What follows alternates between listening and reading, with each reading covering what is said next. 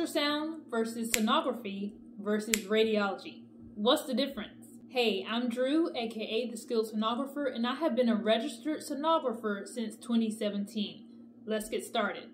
So, first, what is ultrasound and how does it work? The ultrasound machine sends sound waves into the body, into the tissues.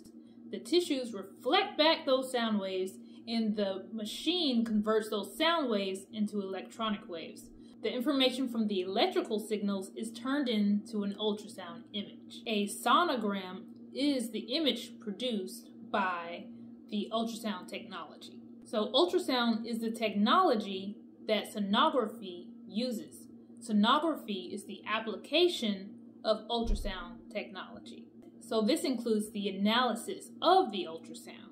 Diagnostic medical sonographers use ultrasound to look into the organs of the body and to determine if there's any pathology. So, ultrasound is the tool, sonography is the use of the tool. Now, what is radiology?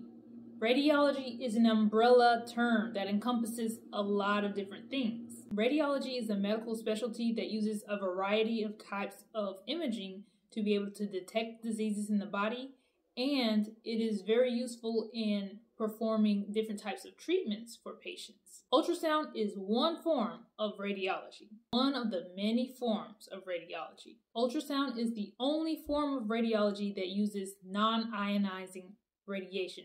That means that as of now, there are no known harmful bioeffects or damage to the tissues using the form of ultrasound. Now, the other modalities that are under this radiology umbrella include MRI, CT, PET scans, nuclear medicine, X ray, mammography, interventional radiology, and fluoroscopy. Now, the title of the professional who performs a lot of these types of radiology is a radiologic technologist. They are also known as radiographers or rad techs for short. Now, rad techs perform these MRI, CTs, mammographies. Rad techs also may choose to specialize into sonography. Some rad techs have gained extra training or education to become sonographers. However, not all sonographers are rad techs. Many of them are not